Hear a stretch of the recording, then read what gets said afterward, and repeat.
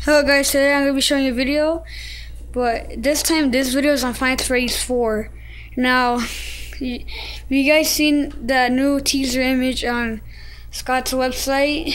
What it shows, it shows a dark, uh, dark, I mean a purple Freddy hat and a purple bow tie.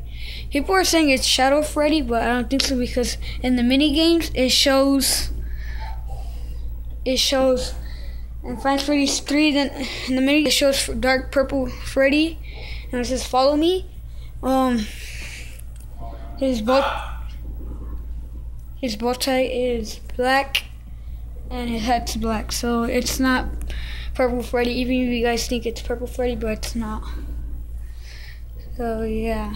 People are saying it's either Shadow Bonnie, but Shadow Bonnie wouldn't even wear hat.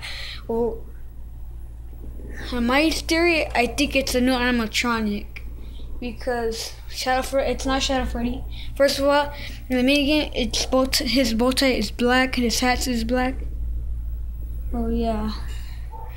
Thank you guys so much. If you like this video, if you like this video, I want you guys um drop a like in the bottom and subscribe for more videos. I'll see you guys in the next one. Peace.